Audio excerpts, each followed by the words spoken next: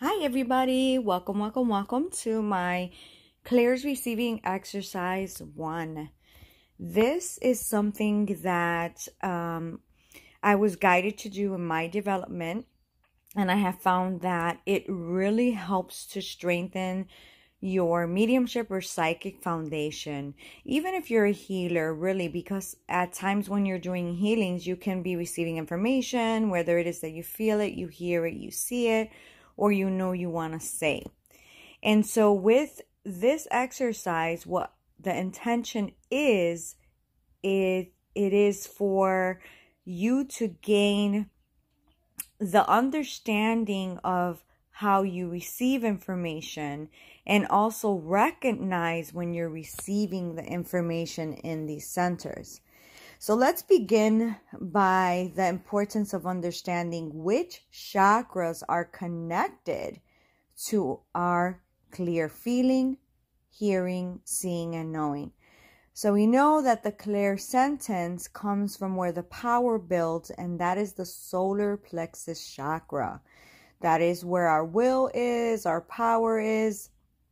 And so that makes total sense. This chakra vibrates at 528 hertz. All right. And that's unconditional love. That's the state of change. Okay. That's a state of an expanded aura. At that point, your aura is wide open and you've come to be with your subconscious mind to receive information for yourself or to connect uh, with the soul of someone if you're reading them psychically or souls of those on the other side of life. We know that this center is very important because this is where you as a medium can feel the power build and you'll be able to tell when there is a soul coming in from the other side of life to be with you either if you are communing with spirit or if you are reading someone and they're coming in to be here from the other side of life for your recipient, your sitter. Um, we then go to our clairaudience, and that is our clear hearing. So when we hear with this center, it's with our inner hearing, not hearing as we do in a daily life. It's our inner hearing that we focus on here. And a lot of students, and even for myself when I was developing, they feel to um, hear from the, the lower back side of their head is where they kind of sort of most of the time feel that they can hear. So again, it's inner hearing and that center, that clair is connected to your throat chakra. So the throat chakra vibrates at 741 hertz. And this is our sense of communication. And of course, we're going to hear from the center, right? Because this is where we receive to communicate. So we know that with the center, uh, if we are receiving imprints from those on the other side of life, if we're a medium or we're receiving imprints because we're reading psychically or even hearing something from someone's higher self, that it is important then to also uh, not just say, okay, I am clairaudient and that is, uh, you know, an ability that I have, but always maintain and balance the center as well as your solar plexus. So any of these chakras that are connected to your clairs, uh, you should focus on honestly just keeping balance on all seven chakras. But for the sake of this video, we're focusing on uh, the solar plexus for our clear feeling, the throat chakra for our clear hearing. And then we go up now to our clear seeing. And that is a focus that we want to come to of between the eyebrows. And that is connected to our third eye chakra. And our third eye chakra vibrates at a 852 hertz. All right. So th- with this center, of course, we see with our spiritual eyes through our spiritual window, shall we say. So you don't see normally how you're seeing me or each other or objects on earth in this human experience. You see from the same place that you imagine and the same place that you dream. But you're seeing this, uh, you know, through the process of your your reading. And this center is very, very important because, of course, we are already, you know, coming to this place, but we feel as if we're making things up. So, recognizing the center is extremely important. I mean, all of these chakras and clairs are important, each and every one of them. And we'll go over why that is in a second.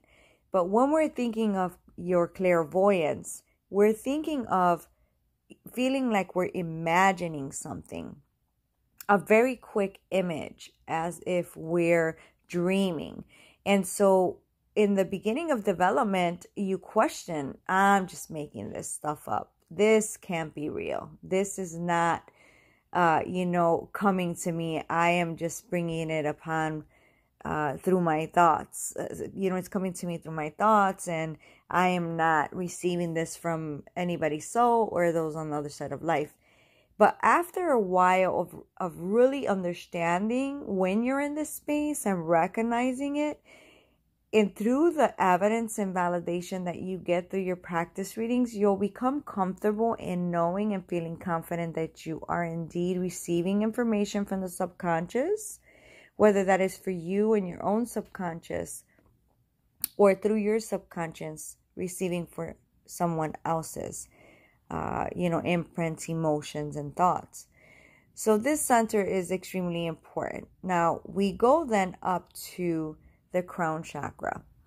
And when we're in the crown chakra, that is connected to our clear knowing. Our our clear our claircognizance is when our clear feeling, hearing, and seeing is all activated at the same time. And then we know that we want to say. We know that we want to say. And so with this chakra, it kind of feels like we're receiving right uh thoughts uh, uh, random thoughts come in when that crown chakra is active and that claircognizance is going it in in this one too can be tricky during development because we feel like it's our thoughts we're needing to learn to understand this space and recognize it when we are in the state of receiving something that is beside ourselves, that is coming to us. And this one here is very important because, again, a lot of people say, Oh, I'm just clairsentient, clairaudient, clairvoyant, I'm not claircognizant. But really, truly, if you are receiving information from those three, when those three activate, you are receiving information, but you lack the understanding of how to recognize that you're receiving from this center. Okay. And, you know, uh, you're vibrating here at 963 hertz. So when you're in your crown chakra, you're vibrating at 963 hertz. And you are, of course, in that higher place of all that is and the frequency is a lot faster. So once you get to this clear, you are feeling like there's um, warmth or a shift of energy in some way because everything is going faster than it normally does. Here in the earth plane, things are a little bit more dense, a little bit slower for us. But when we're working in our spirit body, everything seems to be going so fast. So the benefit of the clairs receiving exercise one is that you are able to understand and recognize each and every one of these clairs.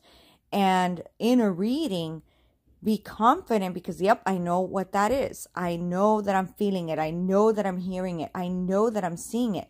I know that I want to say. Now, why is it important to understand beyond what I've already stated? Well, because if there, and this is my philosophy, if there is a visiting spirit from the other side of life as a medium and you're connecting and linking in and they were more emotional they might they might because again they have free will. It's up to them what they do but they might come in giving you a lot more through your clairsentience your clear feeling because they were more emotional. While someone that was like a demonstrator that like to show you here let me show you let me show you might give you more through your clairvoyance.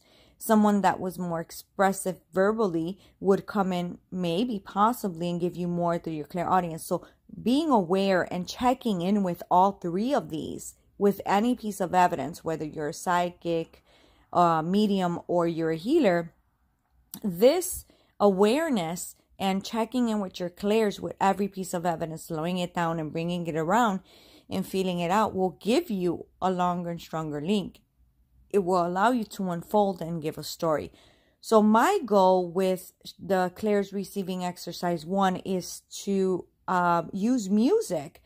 As we stated before, each clair has a frequency. So we're listening to the 528 hertz and we're focusing our awareness on our solar plexus as we're listening to the 528 hertz.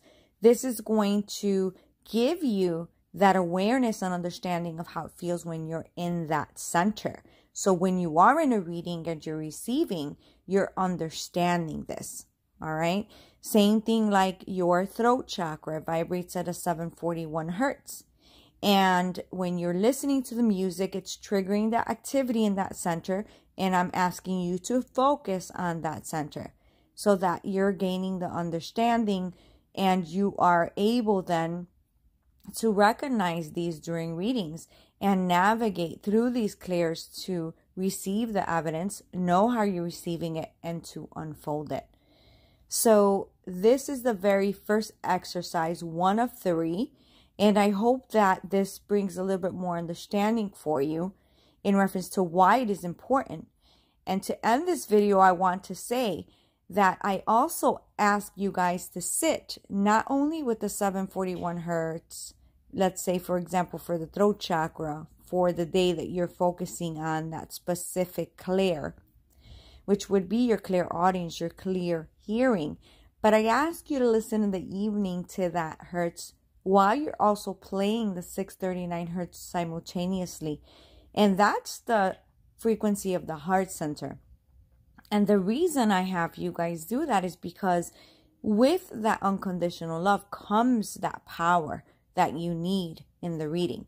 But I want you to focus solely on the frequency to recognize it and then merge with that frequency of that unconditional love as well, because that is the power and that has to be and should be something that you come into when you're doing psychic mediumship or even healing work so that you are in that expanded consciousness that is needed to do the work.